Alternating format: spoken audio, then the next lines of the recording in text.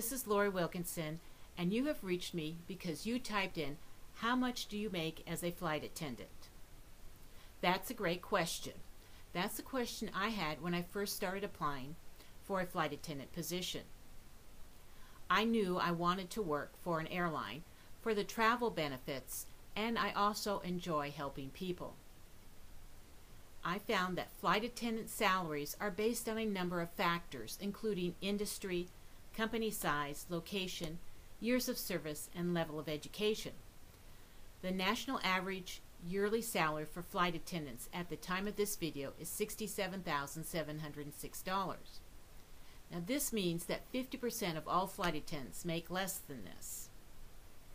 Since I had my husband's income to fall back on, the low salary was not going to deter me. I ended up working in the benefits department instead for over 13 years for a local airline company.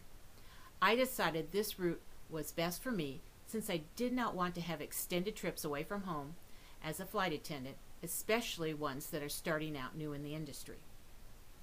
I know you're looking for how much flight attendants make.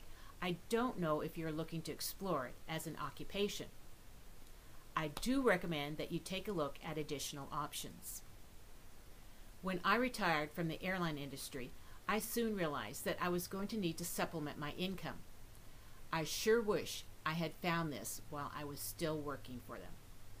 I would have been ahead of the game for my retirement.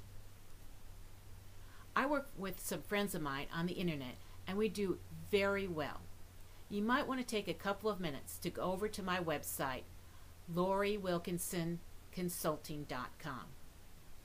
You will see a video with two of our top earners who will show you what we do and how it works. Again, that's LoriWilkinsonConsulting.com. Bye for now.